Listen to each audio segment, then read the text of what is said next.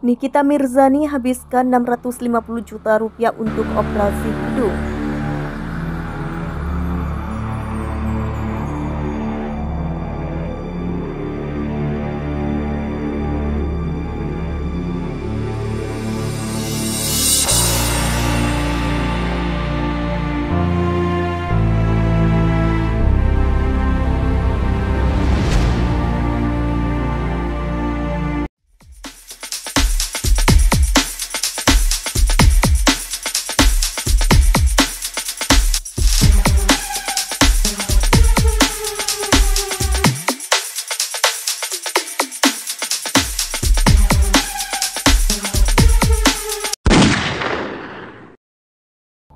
Artis Nikita Mirzani mengaku menghabiskan 650 juta rupiah untuk menjalani operasi di bagian hidung yang dijalaninya di sebuah rumah sakit di Swiss belum lama ini.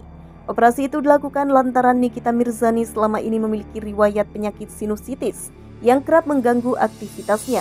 Aku tuh punya sinus jadi hidungku selalu merah jadi kalau kambu bikin gatal sehingga aku kan sering kelihatan pegang hidung dan kemarin itu di Swiss aku operasi untuk benerin hidungnya, ungkap Nikita Mirzani. Jadi kemarin saat operasi itu dimenerin semua, sekarang kan udah enggak merah, ada suntikan. Operasi yang dulu ada bekas goresan di sini bagian tengah hidung itu diilangin juga lanjutnya. Nikita Mirzani mengaku menghabiskan uang tak sedikit untuk bisa melakukan operasi di bagian hidungnya. Bahkan angkanya mencapai ratusan juta. Kemarin operasinya menghabiskan sekitar 41 770 Swiss francs atau sekitar 650 juta rupiah. Benerin hidung dari sinus. Ini belum termasuk biaya pesawat dan ini udah oke dan gak akan diapa-apain lagi karena sudah gak sakit lagi, tambah Nikita Mirzani. Nikita beralasan menjalani pengobatan hingga jauh ke Eropa lantaran dirinya percaya bahwa pengobatan di sana bagus dan membuatnya merasa nyaman meski harus menjalani operasi. Jadi di sana itu detail banget mulai dari pengecekan tulang tengkorak bagian dalam sebelum menjalani operasi. Lalu ada pemeriksaan lain dampak penyakit sinusnya dan apa yang terjadi setelah operasinya. Itu detail banget diperiksa kalau di Indonesia atau di Asia aku nggak percaya. Dan nggak akan begini bentuk operasinya, tegas Nikita. Nikita mengakui pasca menjalani operasi di bagian hidungnya ada beberapa perubahan yang dialaminya terkait masalah kesehatan salah satunya. Jarang merasakan sakit kepala seperti sebelumnya. Sekarang rongga pernafasan di hidung sudah mulai lancar beda saat masih ada penyakit sinusnya. Karena kan tersumbat terus tuh yang bikin kadang migrain tandasnya.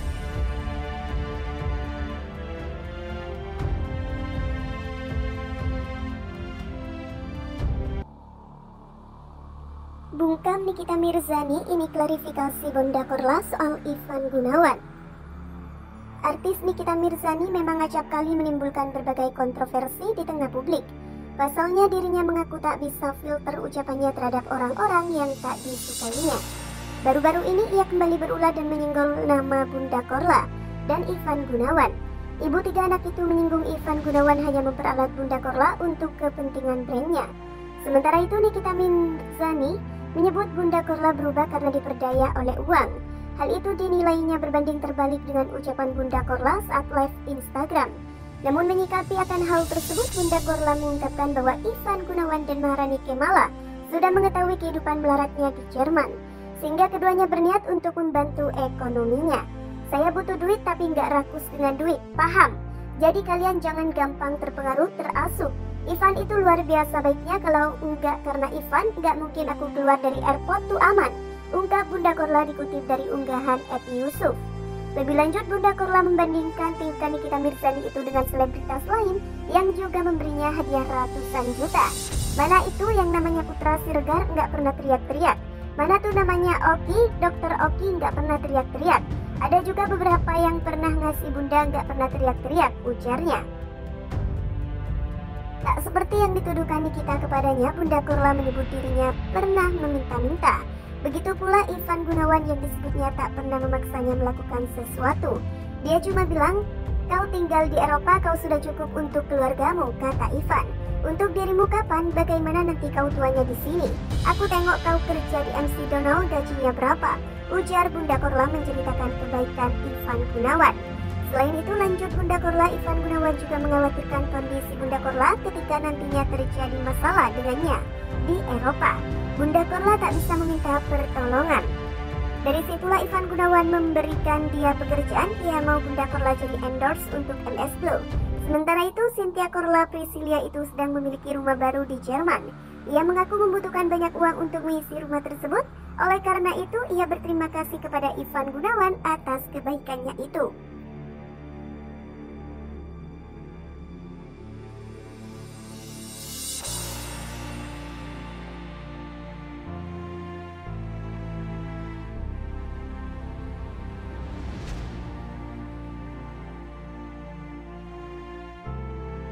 Lagi, Nikita Mirzani pamer kemesraan di kamar dengan pacar bulenya.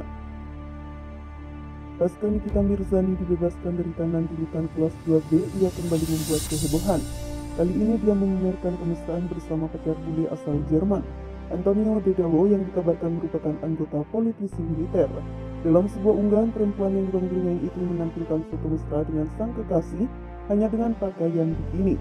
Jelas ia tampak seksi.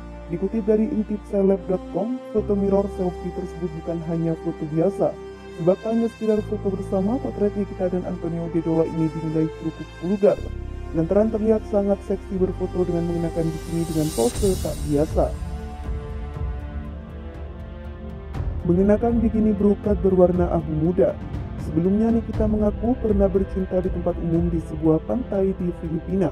Pengakuan tersebut ia sampaikan dalam podcast Dua Gacor Sontak para host terkejut mendengarnya. Di pantai waktu di Filipina, di dalam air, kata Nikita Mirzani dikutip dari podcast Dua Gacor. Mendengar akan hal tersebut, para host terkejut menurut pengakuan Nikita ia melakukan hubungan intim karena sudah kadung sayang terhadap kita semua sampai ia hilang rasa malu. Serius orang lalu lalang aja, gue kalau udah sayang sama orang gue udah nggak malu lagi untuk ungkapin. Kayak gue pingin atau apa sambung Nikita Mirzani.